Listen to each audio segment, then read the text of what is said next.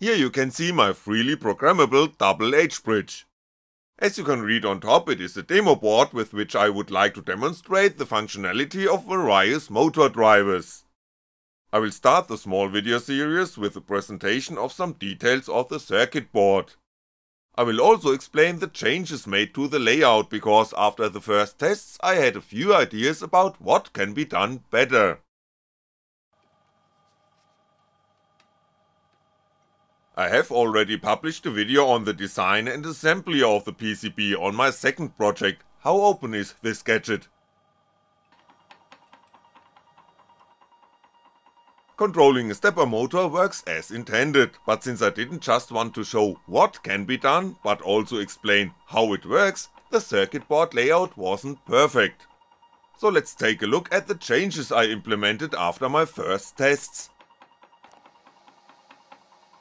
Across the resistor that is implemented as a current sensor, a voltage drop of significantly less than 5V occurs in normal operation, something the ATmega 328 microcontroller can handle without any problems. A tiny electric motor is driven here with which a voltage drop of 2.2V can be measured across the 30 ohms resistor, which corresponds to a current of 73mA. However, I would also like to use the board to demonstrate cases that are outside of the normal operating states, at which up to the full supply voltage which is a little over 7V here, might drop across the resistor. Since the microcontroller would be destroyed if this voltage was applied to a GPIO, I soldered a 4.5V Zener diode and two more resistors to each of the two current sensors on the back of the board. I had to cut the tracks running from the current sensor directly to the microcontroller on top of the board. Two cables on the bottom side now lead from the Z diodes to the two analog inputs. Another change addresses the control pins of the transistors. Since not all microcontroller pins have hardware pulse width support, I swapped two of these output pins which makes programming much easier. Again, I had to cut through the tracks on the circuit board and reconnect the pins on the bottom side with two more wires. Then I found cheap mini voltmeters on the internet and quickly came up with the idea of installing them on the circuit board as well. To hide their wire routing I drilled 3 holes in the board. Each of the mini voltmeters is fed with electrical energy by a battery, independently of the H-bridge supply voltage. One battery for all voltmeters will not work because in doing so, short circuits would be caused on the board. The bottom side of the PCB no longer looks as tidy and professional as the top, this is where the tinkerer in me comes back to daylight. I had originally connected the red LEDs used for displaying the switched off status in parallel to the source drain path of the transistors, which worked well.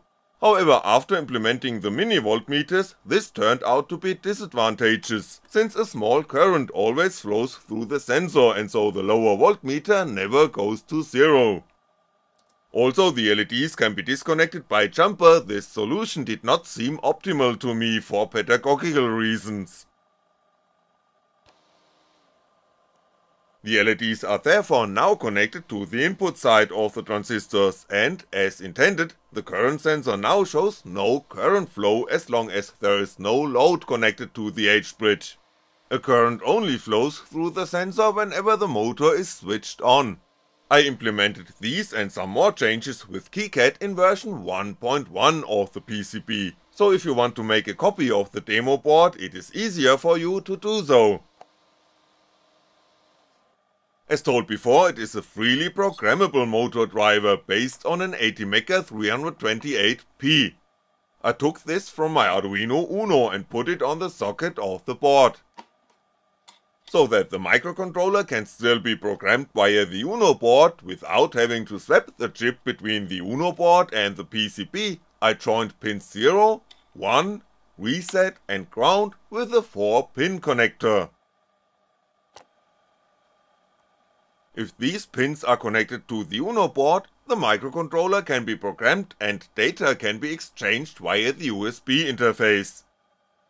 With the demo board I would like to dive deeper into coding and show that you can use the digital write command to literally move something instead of just making an LED blink.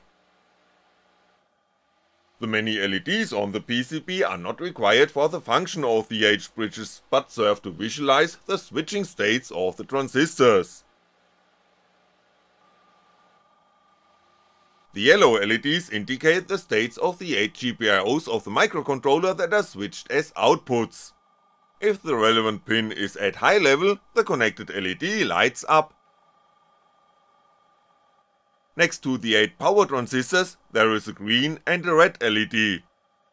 If the relevant transistor is switched on, the green LED lights up, if the transistor is switched off, the red one lights up.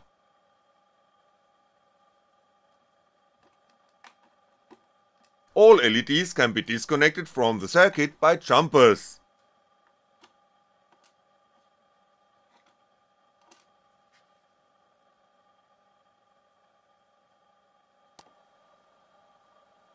On the left H-bridge you can see the mini voltmeters that are connected in parallel to the 4 transistors and thus measure the voltage drop across these components.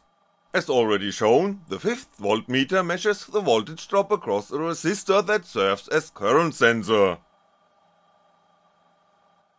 I did not connect any voltmeter to the right H-bridge because every measurement also has an influence on the circuit to be measured as I will show in later videos in this series.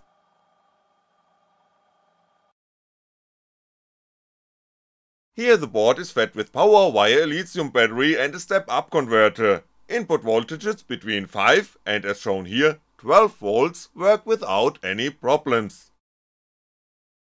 That's all about the demo circuit board for now, further information as well as the design files of the PCB are available on the project page homofaciens.de. In the next video of this series I will use the board to demonstrate how half bridges work. And if you would like to support me in my efforts to create freely accessible knowledge about electronics and software, you are welcome to click the donate button on my pages.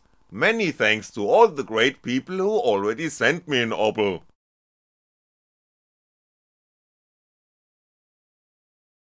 Thanks for watching and I'll be back.